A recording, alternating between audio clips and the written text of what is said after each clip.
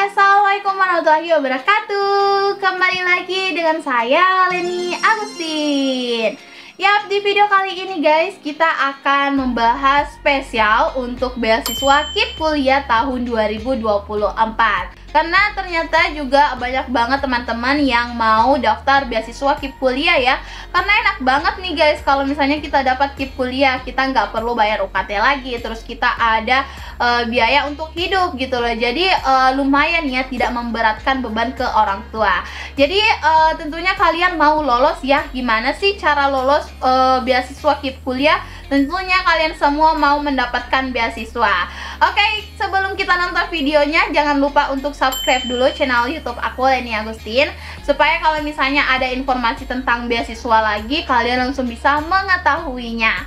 Dan follow juga instagram info.umptkn dan Leni Agustin 10 supaya kalau misalnya ada informasi uh, dan kalian juga bisa mengikuti tryout gratis. Di sana guys ada tryout ya. Jadi kalau misalnya kalian belum ikut kalian boleh banget ikut supaya kalian mengetahui udah sampai mana nih kemampuan kalian dalam mengikuti ujian tahun depan tahun 2024 ya Oke, kalau misalnya ada pertanyaan boleh juga WhatsApp aku di 0882 4785 4631. Oke deh, langsung aja mari kita nonton ini dia videonya.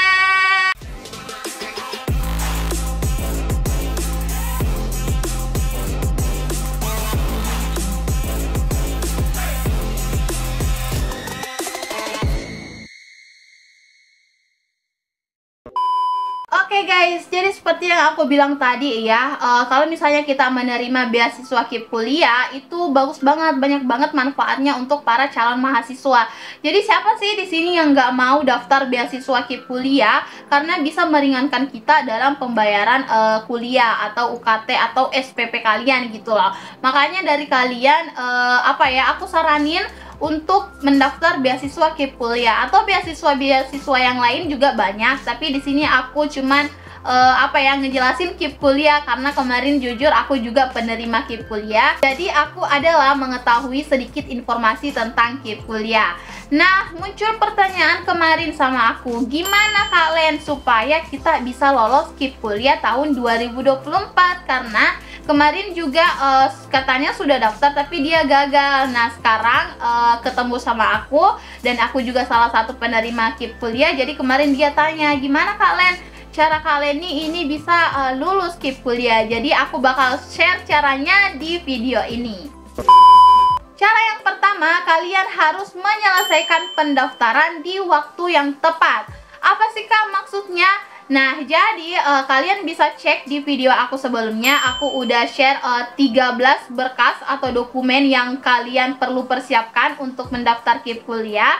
Di sana udah aku jelasin syarat dan berkas-berkasnya. Nah, kalian harus menyiapkan tersebut di waktu yang tepat. Artinya, kalau misalnya uh, berkasnya bisa disediakan dari sekarang, mumpung kan ini aku buat videonya tanggal 10 Desember ya jadi kalau misalnya nanti uploadnya kapan gitu jadi kalian harus uh, menyiapkan semua persyaratannya dan dokumennya dari sekarang. Jangan bilang bahwa uh, pendaftaran KIP kuliah bukanya masih lama jadi nanti aja gitu siapkannya. Jangan ya teman-teman silahkan kalian siapkan dari sekarang. Karena kan kalian udah tahu ya kalau misalnya kalian udah nonton video aku sebelumnya tuh yang 13 berkas dokumen untuk KIP kuliah. Kalau misalnya kalian udah nonton kalau misalnya kalian udah tahu ya kalian persiapkanlah sekarang. Jangan ditunda-tunda karena kalau misalnya uh, bulan depan udah terbuka pendaftarannya ya kalian langsung uh, apa ya memasukkan data tersebut. Jadi kalian nggak perlu bingung lagi uh, di mana foto ini di mana file ini gitu loh. Jadi kalian harus persiapkan persyaratannya mulai dari sekarang. Untuk persyaratan dan berkas dokumennya uh, aku nggak akan ngejelasin di sini lagi ya karena kemarin udah aku buatin video tersendiri. Uh, tapi aku bakal spill spill sedikit berkas dokumennya misalnya kayak foto KTP kalian uh, foto uang uh, bukan uang sih pembayaran listrik kalian gitu loh. Foto rumah kalian rumah kalian dari depan dari belakang dari samping. Foto dapur kalian juga ini perlu banget ya untuk kalian ketahui untuk persiapan beasiswa KIP kuliah Kalian juga harus mempersiapkan nik kalian sama NPSN kalian, e, alamat email juga yang aktif dan kalau misalnya kalian punya kartu Indonesia Pintar, kalian boleh banget e, menyiapkannya dari sekarang ya, jangan sampai hilang kartu Indonesia Pintar kalian. Kemarin ada pertanyaan kalau misalnya Kak tidak mempunyai KIP atau kartu Indonesia Pintar gimana? Nah, ini kalian bisa ganti sebagai kartu KKS atau kartu SKTM, surat keterangan tidak mampu.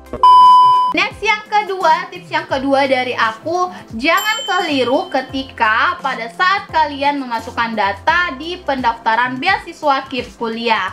Gimana nih Kak? Maksudnya keliru gimana? Salah data gimana? Iya nih guys, karena kemarin nih ada yang aku pantau daftar KIP kuliah juga, tapi ternyata ada data yang salah dimasukkan. Misalnya nih kesalahan nama.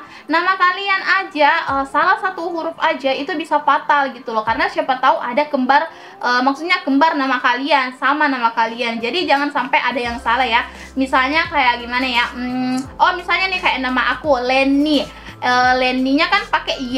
Nah, terus aku tulisnya pakai I. Itu salah ya. Jangan uh, disalahkan. Pokoknya usahakan kalian periksa baik-baik ketika kalian daftar beasiswa kuliah.